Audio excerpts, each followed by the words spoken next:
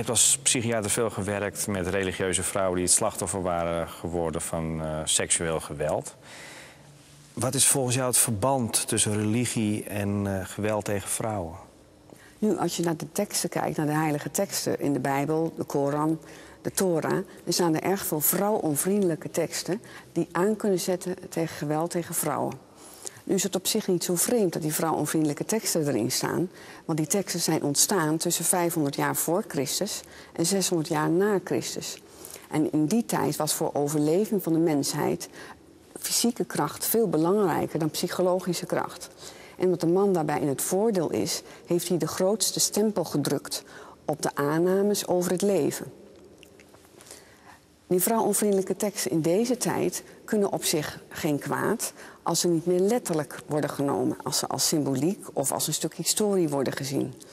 Zo zijn er teksten in het Oude Testament van de Bijbel en ook in de Torah waarin staat: uh, uh, verkoopt u uw dochter als slavin, dan kan zij niet vrijkomen als mannelijke slaven.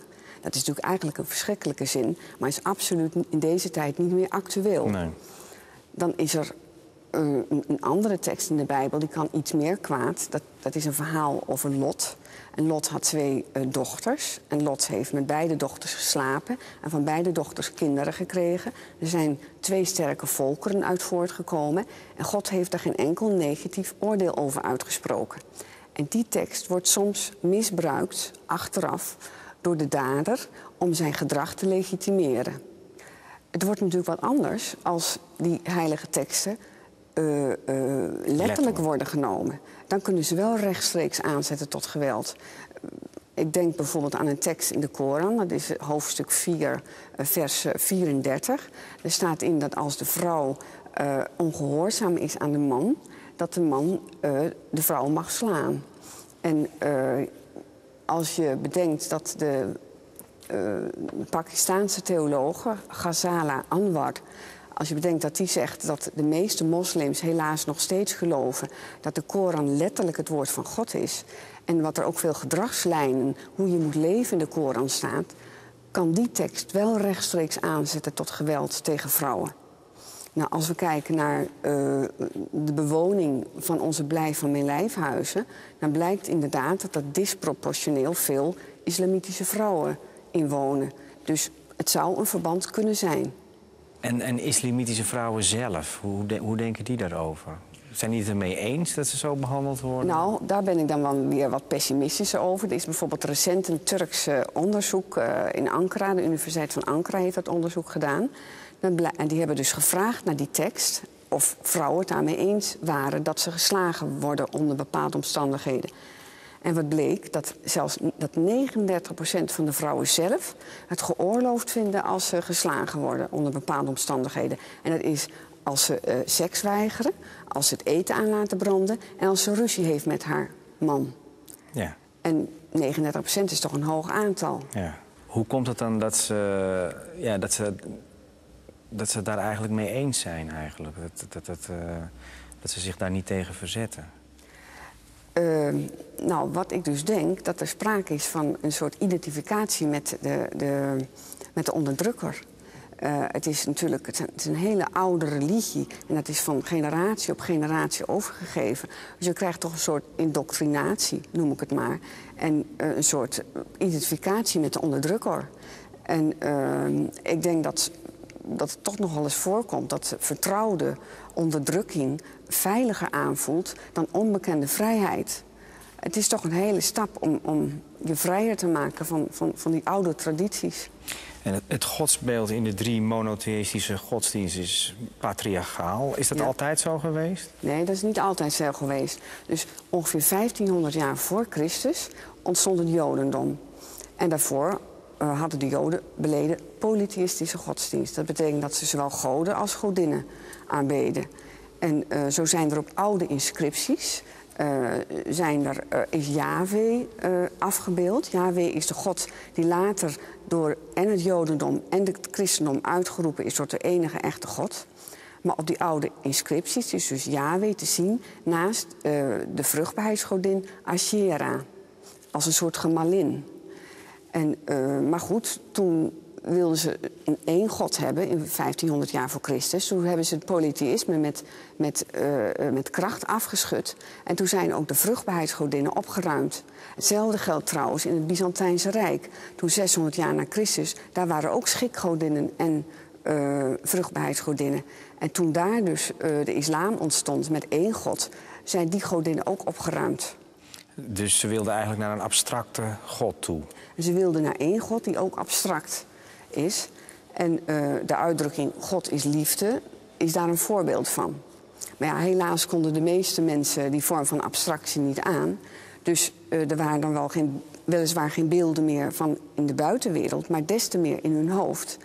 En uh, die beelden werden ook wat gepersonificeerd. En, ehm, en dan krijg je maximale kans op projectie. Als een God onzichtbaar is en toch is gepersonificeerd, dat, dat doet me dus denken aan wat je als psychoanalyticus hebt. Je moet eigenlijk zo weinig mogelijk van jezelf laten zien aan je cliënt, zodat de cliënt zoveel mogelijk uh, de drijfveren van zichzelf op jou kan projecteren. Dan komen ze dus op tafel te liggen en kunnen ze bewerkt worden. Nou, volgens mij is er iets dergelijks ook gebeurd met die onzichtbare God. Daar zijn de bestaande man-vrouw verhoudingen op geprojecteerd. Nou, de man was in het voordeel, dus de, man, de, de God werd mannelijk. En ja, uitdrukkingen als de Heer uw God of God de Vader verwijzen naar zijn mannelijke aard. En vooral in de Torah en in het Oude Testament, en je ziet het ook wel in de Koran, zie je dat die God dus echt uh, heel uh, een heerser was, uh, een strijder en flink kon straffen als je hem ongehoorzaamde. Dus echt een flink mannelijke God. Nou, vanaf dat moment dat er een mannelijke God was ontstaan, waren, werden bijna alle ambtsdragers in die religie werden mannen. En ook de man kreeg een meer exclusieve band uh, met God dan de vrouw. Zo zegt bijvoorbeeld uh, de apostel Paulus in het Nieuw Testament... die zegt, als een vrouw blootshoofd bidt of in naam van God spreekt... dan doet ze haar man, en dat is haar hoofd, te schande. Maar de man hoeft niets op te zetten, want hij is rechtstreeks het beeld van God. Dus daarmee is duidelijk dat de man een meer exclusieve band heeft dan de vrouw. Zijn er nog meer voorbeelden in het jodendom, orthodoxe jodendom bijvoorbeeld, van wat een vrouw wel of niet mag? Of ja, nou, katholieken? Precies, nou kijk, toen die ongelijkwaardige sociale organisatie, die dus toen ontstaan is bij de aanvang van die godsdiensten, die is in veel religies nu nog in meer of mindere mate te zien. Uh, bijvoorbeeld het, het Vaticaan heeft onlangs nog een herderlijk schrijven uit doen gaan dat de, de, de posities in de kerk slechts door mannen vervuld mogen worden. En als je kijkt naar de islam bijvoorbeeld, dan zijn praktisch alle imams zijn mannen. En de, de, de gebedsruimtes van de mannen zijn veel groter en mooier over het algemeen dan de vrouwen. Kijk je bijvoorbeeld naar het orthodoxe jodendom, dan mag de, mag de vrouw haar man nooit tegenspreken. En uh, ze mag ook een vreemde man nooit een hand geven. Wel haar eigen man en niet een vreemde man. Dus de weerslag van die oude teksten zie je nog steeds in de huidige tijd tevoorschijn komen. En uh, het scheppingsverhaal uit, uit Genesis, dat strookt op geen enkele manier met de evolutietheorie en ook niet met, met de voortplanting. Dat klopt. hoe is het in godsnaam mogelijk uh, dat, dat, er toch is ontstaan, Ja, zo'n nou, vreemd verhaal? Ja, dat klopt. Nou, het jongste scheppingsverhaal is pas geschreven ongeveer 500 jaar voor Christus. Dus het was tijdens de Babylonische ballingschap. Dat was dus al een jaar of duizend nadat de vruchtbaarheidsgodinnen waren opgeruimd. Uh, in wezen is het zo dat zo'n vruchtbaarheidsgodin, dat beeld daarvan, va- beantwoordt veel meer aan de realiteit. Want wij zijn natuurlijk zoogdieren en van mensenheugenis af is het zo dat de jongen van zoogdieren geboren worden uit het vrouwtje. Ja. En in het jongste scheppingsverhaal is het zo, jullie kennen, de meesten kennen het natuurlijk wel, is het zo dat Adam geschapen is rechtstreeks naar het beeld van God.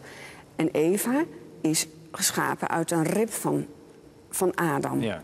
Dus op de een of andere manier is er sprake van een soort omkering. Dus een ontkenning van de eigen biologische wortels en een omkering ten faveur van het, van het, van het dominante mannetje. Het is toch heel vreemd dat het mogelijk is dat mensen dat dan gaan geloven. Ja, ja, ja, ja dat, is, dat is verbazingwekkend. Maar goed, dat is, Is toch gebeurd. het is toch gebeurd. En ik- ik denk dus dat dat ook gebeurd is, omdat het mannetje dus dominant was. En eh, misschien was hij eigenlijk bang dat het vrouwtje misschien wel eens als eerste geschapen zou kunnen zijn. Dus dat de vrouw misschien stiekem een wit voetje had bij God. Dus ik denk dat het een soort baarmoedernijd is, een analogie van de penisnijd van Freud. Waardoor die omkering is ontstaan. Ja, en, en mannen wilden daar dus wel graag in geloven eigenlijk. Mannen kwam ze hadden goed daar, uit. het kwam ze goed uit. Wat natuurlijk vreemder is, dat de vrouwen daar ook in, in gaan geloven. Ja. Want het, was niet, eh, het ging ten koste Dus, eigenlijk dus de omdat strijd en fysieke kracht zo belangrijk werden en er eh, een, een soort absolute god moest ontstaan, is dat allemaal mannelijk geworden. Ja, ja. En, en, en het afschaffen van, van vrouwelijke godinnen dat heeft dus grote gevolgen gehad. Het heeft grote gevolgen gehad. Daarmee zijn we eigenlijk verder van de realiteit afgekomen.